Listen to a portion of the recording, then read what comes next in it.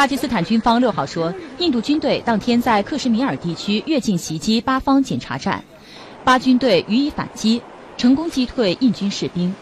交火中两名巴军士兵受伤其中一人因伤势过重死亡。